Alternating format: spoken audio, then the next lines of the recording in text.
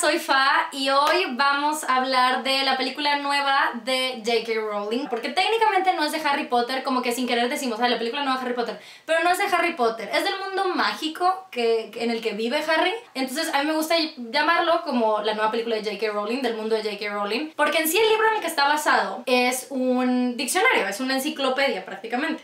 Entonces no puedes como sacar como tal una novela y una historia de ahí. Lo interesante de todo esto es que la misma J.K. Rowling construye todo el mundo alrededor de ello alrededor de sus historias originales de Harry, por así decirlo.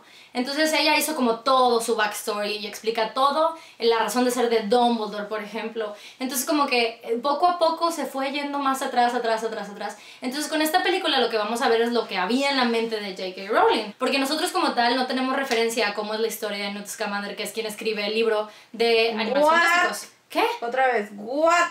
¿Por qué?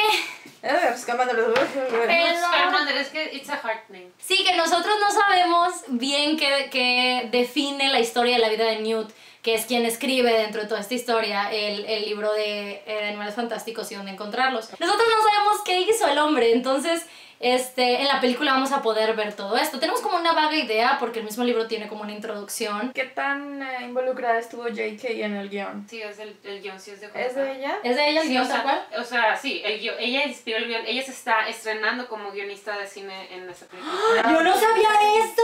Sí, o sea, todo parte de ella y de la historia que ella ya había construido antes. En sí, ella como que ya había construido todo esto, en especial porque estos son personajes que se mueven y existen al mismo tiempo que Dumbledore. Entonces, como que es lo que yo me estoy imaginando, que al mismo tiempo de definir la historia de Dumbledore ella creó estos personajes. Lo que me emociona mucho es como detalles como ver a los magos adultos en el mundo mágico. Que en el mundo, no, no mágico, perdón, el mundo eh, no mag, que se llama en esta película, pero el mundo muggle, pues.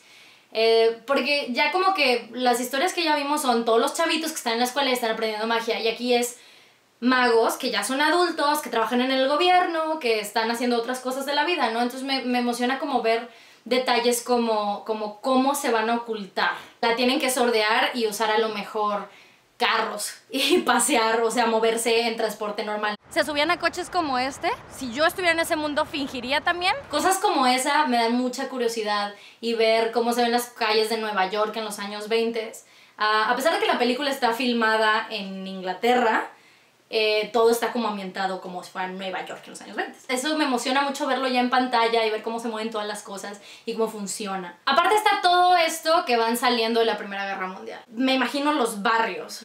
Lugares muy difíciles, ¿no? A lo mejor barrios pobres. Entonces Nueva York en la Primera Guerra se enfrentaba a muchas cosas. Porque también está el otro lado de la moneda, donde Nueva York en los años 20 es tan, tan icónico como París en los 20 que, que era, estaban todos los actores este, de cine, así las superestrellas, todos de fiesta todo el tiempo, igual que los escritores y las bailarinas de Charleston y toda esta gente.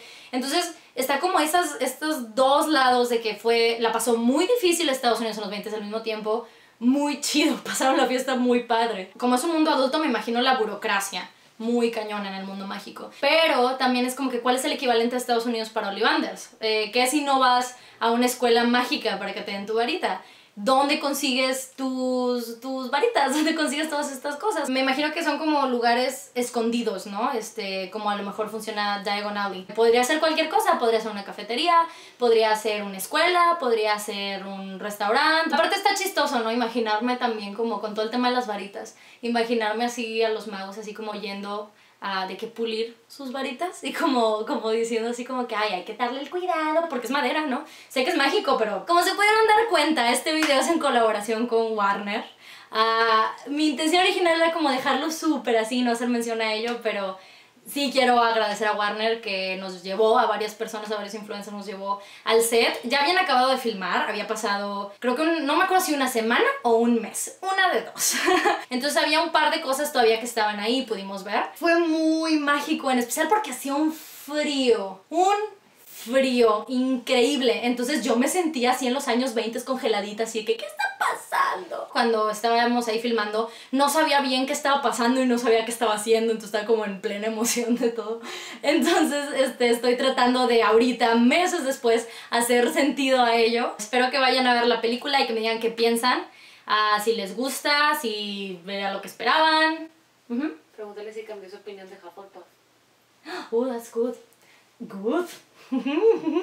¿Qué piensan ahora de los Hufflepuff? Los Hufflepuff se cargan una muy mala reputación por las películas anteriores. Con esta película, ¿qué piensan? Eh, porque Newt es un Hufflepuff y muy orgulloso.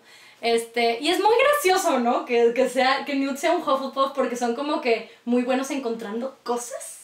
Y para la profesión de Newt me parece así como que el mejor pun del mundo, así de que, mmm, Hufflepuff Pride, sabe encontrar cosas. Aparte que casa favorita de, de JK, ¿no? Ella dice que, es, que es su casa. Ella, ella no pertenece ahí, pero ella dice que, es, que le tiene mucho cariño y que es su casa preferida. Entonces díganme ustedes qué piensan ahora de Hufflepuff. Si viendo esta película, si ustedes eran Hufflepuff y a lo mejor sentían como el mmm, ahora se sienten más contentos de ser Hufflepuffs. Ahora quién es el Hufflepuff a pesar de que son cualquier otro caso. Y ya, pues eso es todo. Muchas gracias por ver el video. Eh, díganme aquí en los comentarios las respuestas a esas cosas que les pregunto. Espero les haya gustado y nos vemos la otra semana.